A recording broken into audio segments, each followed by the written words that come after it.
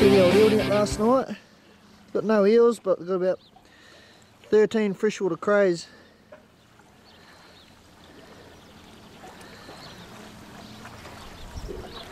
So I'll set it out a bit deeper tonight.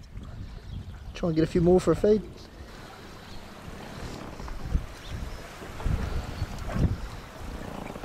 Got about 13 in there.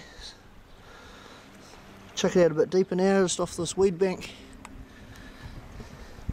Drops off to about 20 feet right over, right out here. Big different, did you? I didn't expect to throw a guts over the side. I'm going to go and put these up in a big plastic bag and then, About 20 odd in there. yeah,